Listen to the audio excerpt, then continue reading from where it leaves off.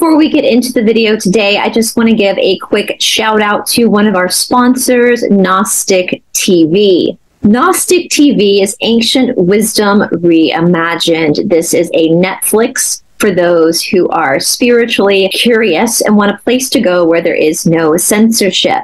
I personally am doing a whole series on Gnostic TV called The Esoteric Explorer, where I am providing exclusive content to Gnostic. Gnostic TV is a host to all sorts of different content creators, many of whom are your old favorites. If you would like to check out Gnostic TV, there is a link down in the description box below.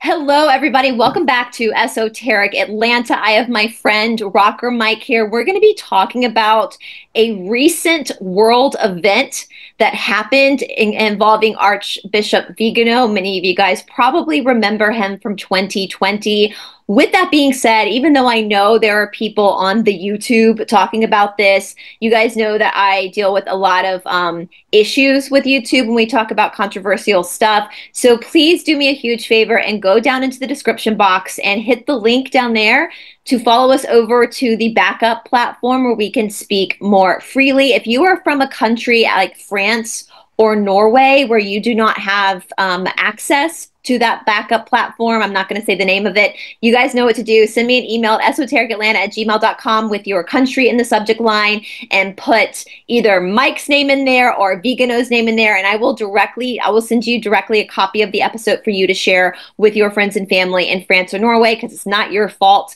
that your government took those platforms away. But everybody else, please follow us down follow the link. If you're already on the backup platform, hold on for a couple seconds and we will get into the story.